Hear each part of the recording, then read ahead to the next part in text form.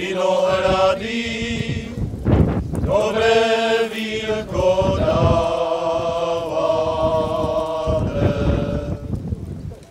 Vínko bílé, vínko bílé, vínko naše Lužické vinobraní, tradice nesení hroznu a jeho žehnání u kostela, tance a průvod krojovaných na oslavu nové úrody, hroznů a jejich sběru. Tradice spočívá v tom, že začíná se tady u obecního úřadu, pan starosta má vždycky nějaký takový e, proslov, pak nám uh, lužičtí vinaři udělali takový hrozen, jakože takovou symboliku toho vinobraní a vlastně od tady má vycházíme průvod s tím, že uh, druzí krojovaní kluci nesou ten hrozen a jde se vlastně ke kostelu, tam uh, bude požehnání od faráře jako na vinobraní a pak se jde na Lidě, kde vlastně celá akce probíhá.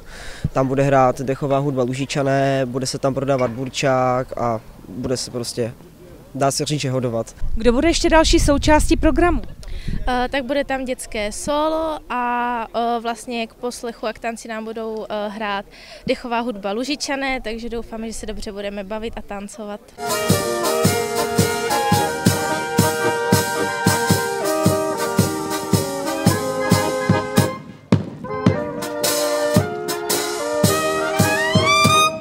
Kroj, tak to je ta paráda, která udělá každou slavnost slavností. Na Lužickém vinobraní přijel jeden kroj až z zahraničí, až z Terchové. Pan Žember je Lužičan, ale pochází ze Slovenska a na svůj rodný kroj nedá dopustit. Dokonce ji pořídil i vnučce a přišel ji ukázat Lužičanům. Co pro něj znamená dodržování tradic? Ty tradice jsou pro mě tak, jak chleba každodenní protože člověk vidí, že národ na to nezapomíná, že ty tradice se dodržují tak jak pracovně, tak jak v tanečním případě nebo veselíca nějaká, když je. A hlavně to člověka musí bavit. Když chce nějaký kroj chodit na zábavu, tak ho to musí bavit. Nesmí tam chodit z donucení. Tradice se mají osvětit. Tak jak to říká všechno, že dědictvo otců zachovají nám, pane, tak děkujeme za ty kroje moc a jsme rádi, že ji máme. Vinobraní začíná. To, na co vinaři čekají celý rok – to, proč se celý rok tak dřeli, aby nyní začali sklízet plody své práce. Pane Maršálku, jak vypadá letošní úroda? Tak eh, jak vypadá, uvidíme, ještě ukáže následujících pár dnů, jaké bude počasí. Zatím to vypadá na celkem pěkný ročník, budou menší kyseliny, ale s tím si už pak musí vinař poradit ve sklepě.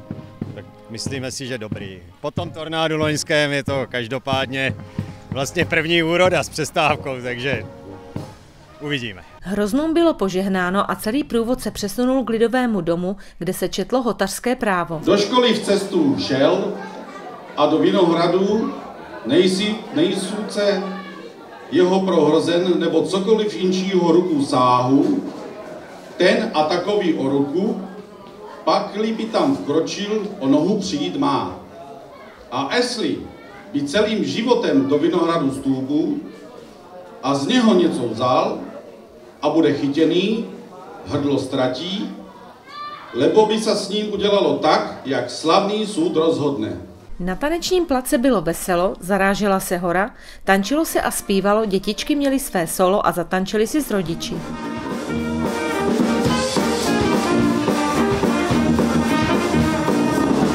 Pane starosto, co byste popřál lužickým vinařům?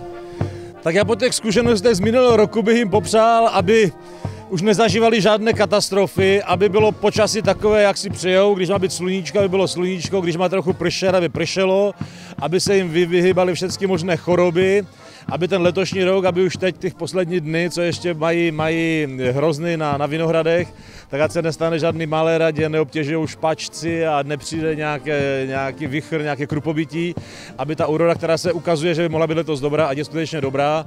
A ti, kteří vysadili nové vinohrady, tak ať jim dobře rostou a ať se u vínka nejenom lužických vinařů, ale všech vinařů, ať se u vínka v dobré, veselé náladě scházíme, ať to vínko je zdrojem té dobré nálady pro nás. Thank you.